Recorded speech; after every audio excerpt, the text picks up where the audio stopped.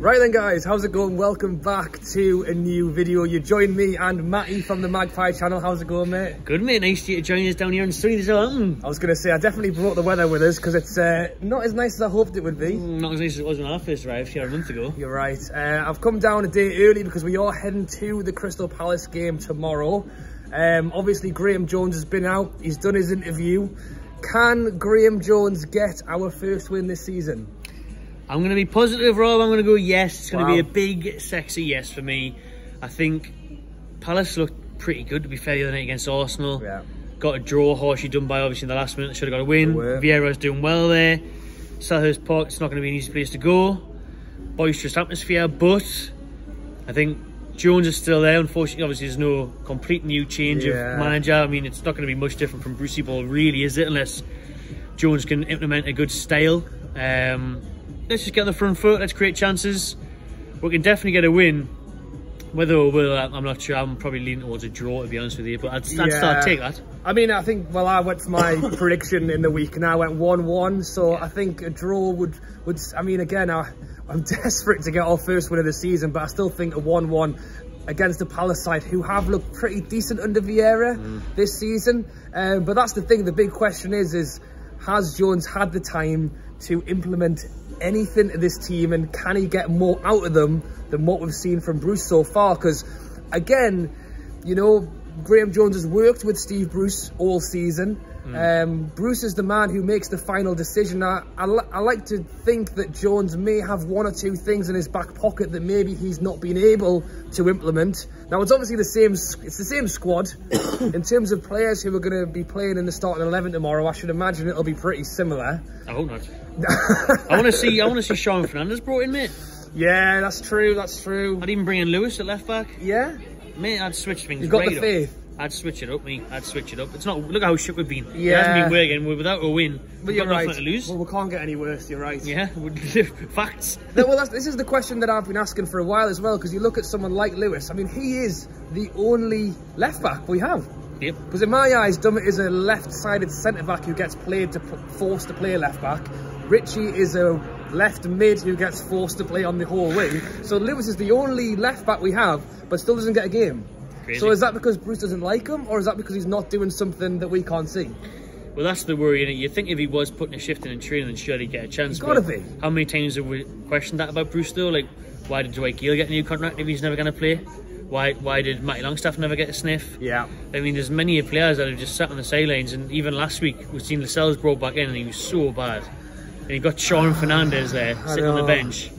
Well, this, well, this is the thing for me. I think Fernandez is the best centre back we've got at the moment, or at least um, he certainly was over the last few seasons. But even this season, He hasn't looked great. he's just, he, I think he's just getting older. Yeah. You know, you can't keep playing this poor bloke over and over again when he's lost his legs. Yeah. Um, but I do agree again, the likes of Gayle, I'm glad Wilson's back. And I'm glad he got big a goal. bonus, big bonus. Because, um, It shows Wilson, like, I mean, he didn't really do anything else but that goal in two minutes. But that's, he's the number nine, you're a striker, that's bread butter, that's what he's paid for. If he scores a goal, and he doesn't touch the ball for the rest of the game, we win the game 1 0, I don't give a shit. You- You, don't care what he does, he's there to score goals. So, Wilson's goal chance and scoring ratio is, is unreal, really, when you think Yeah. about how often he get, actually gets a chance yeah. and puts it away. So, away from home tomorrow. I remember last year the old 2 0 Joelinton and Wilson late goals. Hopefully, a repeat of that. We'll I go know. down a treat. Yeah, well, uh, as you say, this is this is what I mean. I know you want to mix it up. My worry is, and I definitely agree with you because we can't get any worse.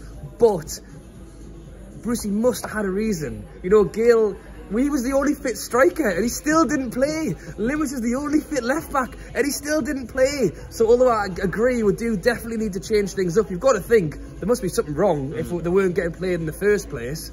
Um, what I am hoping to see from Graham Jones, and he obviously has done his first interview as the caretaker manager of Newcastle.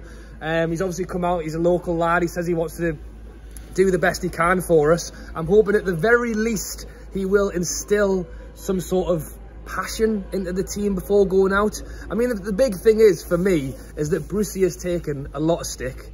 Um, the players really, although they have taken stick, Brucey's taken the brunt of it. I think they need to go out tomorrow and show that you know it was it was Brucey's fault. You know we're actually all right. You know, it, it was his fault. Yeah, it was his fault. It's not ours. So if they go out and put in a good performance tomorrow, people will go, "Oh right, hang on, these guys actually can do it." It was the management that was letting them down. You know, if they go out tomorrow and don't play well, you know, then the questions go on to them. Which it should do. Do you know what I mean? Because what's the, what's the excuse going to be now? If Jones is going to be here for the next couple of games, it's Jones's big opportunity to shine. Yeah. I mean, he's had one permanent position as Luton boss, I think, before. Yeah, that didn't yeah. go well for him. He's at his hometown club now. What, what a chance for him. I mean, he's never going to impress the owners and get a job full time, but at least you can hold your head up high. You- Imagine if, imagine if he gets a draw tomorrow, beats Chelsea or vice versa. How, how, how happy and uh, proud would you be of that? So take that on board, go for that. And then the players, it's, it's, it's a huge few months for these players. Because in January, a lot of them could be on Yeah. at, at the job centre. Yeah, you're right. I mean, there's a lot, a lot of players up for grabs. You have positions up for grabs, players in and out.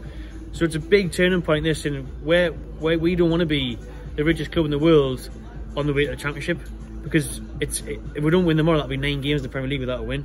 And, and this is the thing, because you, you're absolutely right in terms of these players need to show why they should be here, not only in January, but in the summer as well, which was why I felt so let down in that Spurs game. Mm. Because I know Brucey was still there, I know no one wanted him to be there, but I still thought the new owners being there, packed stadium, that would have been enough to get the performance out of them, and it still wasn't. Only for the first ten minutes. And then 10 just minutes. Yeah, so that, that does scare me for tomorrow. Um, as I say, Jones, he's had about five minutes to try and work a bit of magic.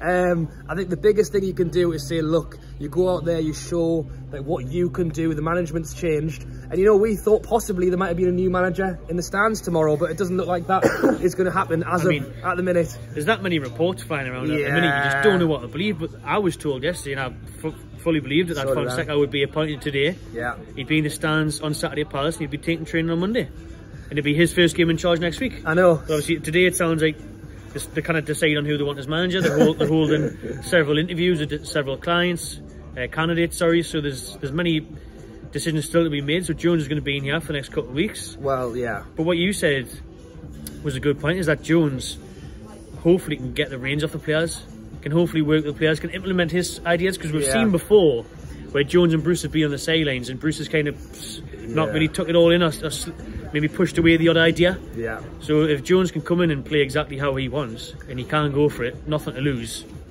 Let's, no. let's, let's try and get a win. Absolutely, mate. Well, as I say, he's not had, he's not had long at all, but I'm hoping that that just that little bit get that little bit of passion into them. Like, you know what? It's your time to go out there and do it, and hopefully we can enjoy our day tomorrow. So. That's so. Did, you give him, did you give him friction?